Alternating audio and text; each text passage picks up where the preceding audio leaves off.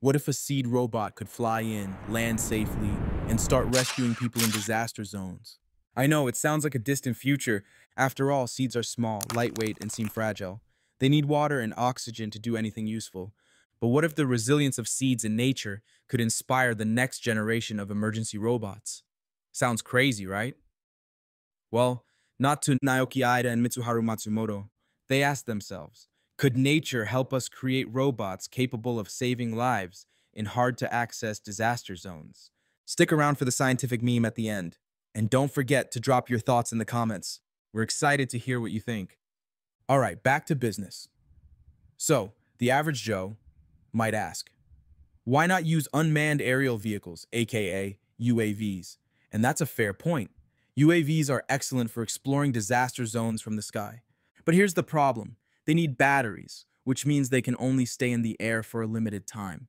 Plus, they're vulnerable to strong winds and bad weather, which are common in disaster zones.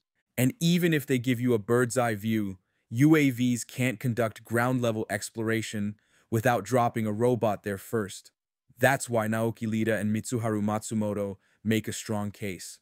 Their research, a transformable sheet type robot that can be thrown from the air, published in Biomimetics, offers an out of the box idea to the problem. They explored all types of seeds and narrowed it down to three candidates maple, dipterocarp, and alsomitra. Now, falling tests showed the maple model dropped without rotating, failing to slow down effectively. The Alsomitra glided like a paper airplane, but was too unpredictable to land accurately in a disaster zone. But what about the Dipterocarp model? It spun down smoothly and stably, like a helicopter, making it the best candidate for an emergency robot.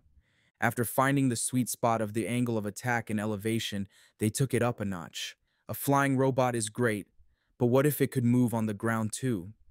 They looked at the inchworm's crawl to give the robot ground movement. The result? Nothing short of amazing. In their motion experiments, the robot flawlessly transitioned from a controlled, rotating fall to a ground-crawling form.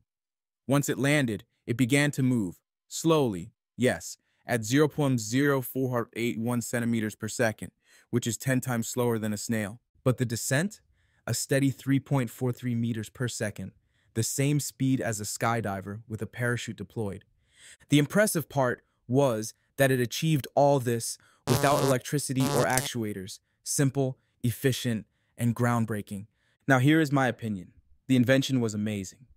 It would be interesting to see it tested in a rocky or uneven terrain to understand its capability, as these tests were only on flat surfaces. Beyond emergency robots, what other applications could this technology be used for? And now the meme of the week.